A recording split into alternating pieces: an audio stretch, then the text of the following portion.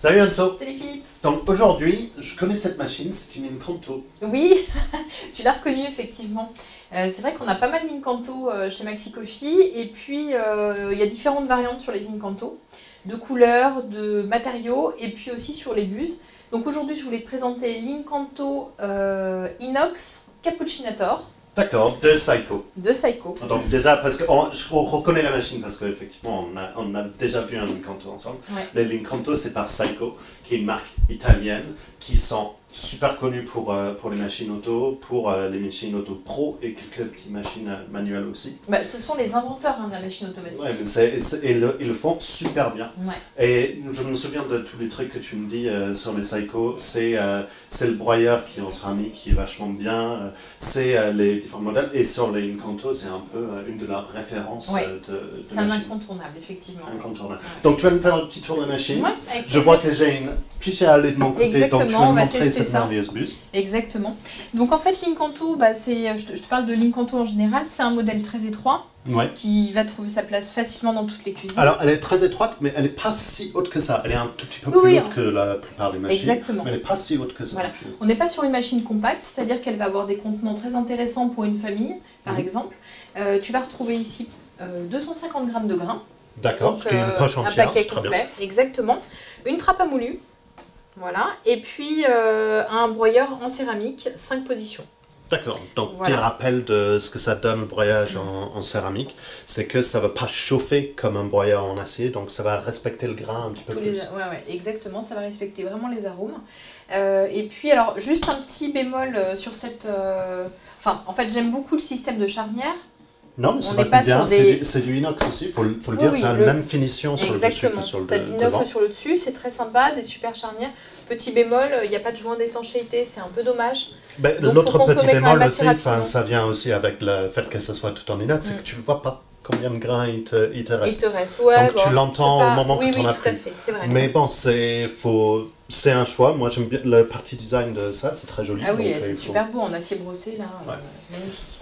Et de l'autre côté, en fait, toujours sur des charnières, tu vas retrouver euh, donc euh, le bac à eau, Hop, que je voilà, vais 1 litre retirer. 8, 1 litre 8. avec une cartouche filtrante. Euh, alors celle-ci, c'est une Aquaclean. Aqua Donc voilà, ces modèles-ci sont prévus avec les Aquaclean. Ce sont des cartouches qui te permettent de ne pas effectuer de, ne pas effectuer de détartrage pendant 5000 cafés, ce qui représente à peu près 2 ans. Ah oui, enfin, tant qu'on met la, tant qu'on Cartouche. met la cartouche et qu'on le change euh, régulièrement. Exactement. Parce que c'est ça, ça doit faire le truc spécial pour enlever le calcaire automatiquement de l'eau. en- Exactement, ouais, ouais, tout à fait. Ce qui simplifie énormément l'entretien. Parce qu'effectuer le détartrage, bah, c'est un peu, Ouais, c'est un peu, long, c'est pas... Et de toute façon, tu vas, si tu veux, si tu veux avoir un bon résultat en tasse, tu vas de toute façon changer ton filtre régulièrement. Parce qu'on le dit à chaque fois, faut mettre les filtres pour l'entretien de la machine, parce que surtout sur celui-là, avec les filtres AquaClean qui vont effectuer moins de détartrage, mais aussi pour le résultat en tasse, parce que ça, les filtres vont enlever tout ce qui est saleté dans l'eau, et tu vas avoir un meilleur résultat en tasse avec un eau filtrée qu'avec un eau sortant du robinet. Voilà, tout à fait. Bon, et sinon, si on passe devant le... à l'avant de la machine, donc on va retrouver ici... Alors, je Ah, il y a les petits boutons euh, Voilà. sur les côtés. euh, Alors tu vois, quand on retire des éléments, la machine va te l'indiquer. Et ça va passer en rouge. Alors c'est vert pour dire que tout va bien et rouge euh, quand il y a un problème. Voilà, donc ça c'est très intuitif. Et sinon tu vas retrouver ici le bac à marre qui est en hauteur, donc par rapport aux proportions de la machine, Ouais. qui va te permettre d'aller jusqu'à 15 galettes. Ce Voilà, qui est très donc bien. c'est très bien par rapport aux différents contenants. Voilà, alors tout ça en inox. hein. Voilà, c'est inox clair. brillant, inox brossé ici, super sympa. La buse, alors à mon goût elle descend, elle, ce serait, ça aurait été sympa qu'elle descende un peu plus, mais elle permet quand même d'aller très haut pour mettre Ouais, un grand verre par exemple. Mais des, des grands verres, c'est Voilà, très qu'on bien. peut aller plus grand que, que ce que j'ai là. Mhm. Voilà, et puis après, bah, un écran de contrôle qui va te permettre de naviguer dans les différents menus. Qui est aussi en texte, donc euh, ça va, Alors, ça va qui est t'indiquer. un petit peu en texte, qui est principalement en picto. D'accord. Voilà, mais il y a un petit peu de texte. Et puis euh, les boissons sur les côtés, donc expresso, expresso lungo, Mhm. donc un café un peu plus long. Ici, tu vas pouvoir faire ta mousse de lait, donc lancer la buse cappuccinator et l'eau chaude. D'accord, donc oui, parce qu'il faut 16 juste le retirer et ça, ça fait une buse normale pour faire de l'eau chaude. Oui, ou tu peux garder en fait, euh, Ah, finalement, ouais, tout à fait. Et puis, euh, enfin, le menu qui va te permettre de naviguer euh, et de choisir les paramétrages. Par exemple, tu peux régler la température de, de tes boissons. Ah, ça c'est vachement bien. Positions. c'est sur trois positions. Ouais, tout à fait. D'accord. Donc tu nous as réglé euh, le petit espresso à combien? Tiens, Eh je- ben voilà, je te laisse. Voilà. Euh, alors en fait là, je- j'ai oublié de te dire que ici tu as un bouton, un bouton pour régler l'intensité de ton café. C'est ça qui est indiqué par le grain en. Exactement, tu as 5 grains. Euh, donc euh, au niveau de la température dont tu me parlais, j'ai réglé au minimum, au plus bas. Très bien. Se. Anso. Exactement. Et puis euh, et donc voilà, tu as donc 5 grains au niveau de l'intensité et ce qui permet d'aller au plus près de tes envies parce que tu vas pouvoir aussi avec le moulin dont on a parlé tout à l'heure, en fait, il y a 5 réglages de moulin, 5 euh, degrés d'intensité et on peut vraiment mixer les deux pour avoir un café de qualité. Donc voilà. Alors on a entendu le broyage qui était plutôt... Plutôt... euh, Enfin c'était un peu bruyant, mais on a entendu plus bruyant que ça. Tout à fait. Donc on a le café qui sort qui est assez joli, avec un bon... euh, Ouais, alors là, il n'y a, y a pas beaucoup de crémage. Je vais en faire un autre euh, parce qu'effectivement, ça fait quand on, a, quand on lance la machine euh, avec un peu de retard, ça fait un petit peu moins de créma. Le premier est toujours un peu moins crémeux. Donc, je vais en refaire un pour te montrer. Hop. Parce qu'on peut vraiment avoir un super résultat, euh, encore mieux que ça. Donc là, on est sur une torréfaction assez c'est claire. C'est pas mal, ouais, ouais. On peut vraiment avoir mieux que ça. hein. Euh, c'est une machine qui réussit très bien l'expresso. Seiko est vraiment connu pour euh, avoir une qualité d'extraction avec sa pré-infusion, avec Bah, là, sa là, on entend le pré-infusion, c'est ça, euh, quand le pompe-nez un petit peu s'arrête et se remet, ça c'est le pré-infusion qui est en train de se Exactement. passer. Ouais, ouais, tout à fait. Donc euh, voilà, je vais vous faire deux cafés, chacun euh, son petit expresso. Et puis après, je te montrerai les boissons lactées avec la bus cappuccinator. D'accord. Voilà. Voilà, tu vois, on a déjà un Ah ouais, résultat. là on a un petit peu on a plus coloré, très joli plus intense. Je te remercie. Celui-là, Donc, a... Donc j'ai pu paramétrer aussi la longueur en tasse. Donc tu vois, avec toi, c'est vrai que je l'ai fait un petit peu plus long euh, sur, sur l'expresso. Est très bon. On sent l'effet de la pré-infusion. Ouais. On a vraiment les arômes qui, qui sortent. Oui, Seiko respecte vraiment euh, le grain. Non, mais c'est vraiment bien. Tout à fait. Alors parle-moi de cette euh, buse, buse euh, cappuccinator. alors. Bah, en fait, c'est une buse très simple d'utilisation. Ça va être le entre la buse simple, où tu vas travailler toi-même ton lait, et la fonction One Touch, qui, où la boisson va se faire automatiquement. Donc ça, c'est vraiment la version intermédiaire. C'est-à-dire que, alors je vais te montrer, je vais mettre mon verre en dessous. Alors on pourrait presque, tu vois, placer les deux sous le... Bon, je vais peut-être pas le tenter, on va pas rester... euh, voilà. Je vais prendre ta place. Ouais. Merci. Parce Donc, que ça a fait- l'air extrêmement compliqué ce que tu es en train Non, de non, faire, donc simple. oui, je pense pas que je vais pouvoir le comprendre. Donc en fait, simplement avec la buse cappuccinator, qui est livrée avec un petit tuyau, tu vas plonger le tuyau dans ton pichet à lait ou Mhm. dans ta brique de lait. Ouais.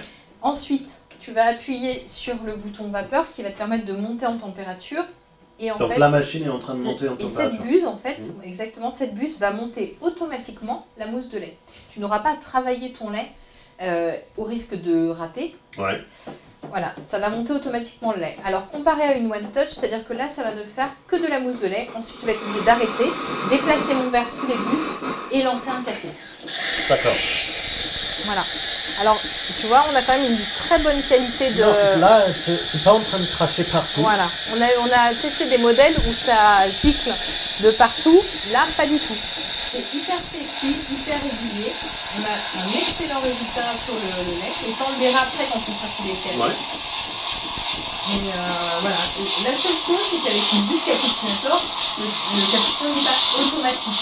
Oui, il faut bouger le verre, il faut euh, appuyer sur le deuxième bouton. Alors, est-ce que ça fait la chose de lait automatiquement ou pas? Pas du tout. Il faut D'accord. arrêter. Voilà, donc là, moi, je vais arrêter ici, par exemple. Voilà. D'accord. Donc, tu vois, instinctivement, elle s'arrête. J'ai plus qu'à décaler. Donc, par contre, après, il faudra effectuer un petit rinçage, pareil, en appuyant à nouveau sur la touche euh, mousse de lait, D'accord. Pour, euh, au niveau de l'hygiène. hein, Ah oui, forcément, parce qu'on ne joue pas avec euh, du, les aliments à lait chaud, euh, ça peut faire des choses assez intéressantes. Donc, maintenant, tu vois, je n'ai fait que déplacer mon verre et j'ai lancé un café par-dessus. Alors, Donc, on voit, le fumet sur le côté, ça c'est Exactement. le- ça, c'est quand il est en train de descendre de température. Exactement, parce que ça n'utilise pas la même température pour monter une mousse de lait et pour effectuer un café. J'espère que non, parce que sinon, soit Tu tu, auras brûler. un mousse de lait euh, inexistant euh, Ouais, ou un café euh, cramé. Tout à fait. Donc Ah voilà, oui, je vois les couches se dessiner. On, a une a- très bonne qualité de mousse. On a une très bonne somme de mousse qui est sortie. Voilà. On va voir. Voilà. si On a un- une petite cuillère. Vas-y, vas-y. Je te laisse tester. Hop, je vais montrer à Jules déjà pendant ce temps-là ce qu'on a réussi à faire. Donc tu vois, c'est très intuitif. C'est pour tous ceux qui, euh, par le passé, ont essayé les bus vapeur simples et qui ont galéré Oui. et qui n'ont pas réussi à sortir une jolie mousse. Parce qu'il faut, avoir le- ça. il faut avoir le coup. euh, et là, on a, on a un mousse avec quelques grosses bulles sur le dessous. Oui, un petit peu, mais, mais la, la qualité quand même est pas mal. Mais ça a une bonne texture. Ça n'a pas trop chauffé euh, le lait non plus. Parce qu'on a un bon. euh, on a un bon, euh, bon mousse. Ne mets pas trop de mousse dans ta belle moustache. Non. Magnifique moustache, euh, je préfère. Et ça, vraiment, ça a fait un, ça a fait un latte qui est vraiment plutôt, euh, plutôt intéressant pour, un, pour une buse séparée au final, parce que Ouais. ça reste une buse séparée. Tout à fait. Et c'est très simple. Moi, je suis, je préfère presque, ça dépend des modèles, mais une bonne buse cappuccinator qui fonctionne bien qu'un pichet à lait qui déconne et qui crachouille de partout et qui finalement offre pas une mousse euh, si réussie. Non, mais c'est, les différentes options qui sont, euh, qui sont possibles. Donc, au final, cette Incanto avec euh, Cappuccinator, tout ce qu'on aime bien sur le sur l'Incanto, les, euh, les, le broyeur en céramique, le résultat en tasse sur l'espresso, et puis et puis ces finitions inox euh, qui, se- qui est vraiment très joli. Ouais. Les petits défauts de l'Incanto aussi Toujours, qui vient avec, de ne pas voir euh, son grain, le, le bus qui descend pas super loin. Mais bon, c'est des, c'est des minorités sur- quand on prend le Mhm. résultat en tasse en compte. Ouais. Et le bus cappuccinator qui vraiment fait un vraiment assez joli résultat. Donc merci beaucoup Anso de m'avoir Eh montré ben, tout ça et je vais te dire à la prochaine. Ouais, ça marche. Bye. J'ai bien aimé ta vidéo avec euh, Jérémy. Moi j'ai bien aimé celle de toi avec Anso. Ouais, moi aussi j'ai bien aimé celle-là, mais par contre, elle était moins bien que celle qu'on avait fait avec euh, Damien. Ouais, mais on fait plein de vidéos. Ouais, c'est vrai. Elles, sont, ouais. elles sont toutes bien. Pour toutes les voir, en fait, Il faut s'abonner. il faut s'abonner. Mais si t'as aimé le produit qu'on vient de voir, Ouais, bah c'est là que ça se passe.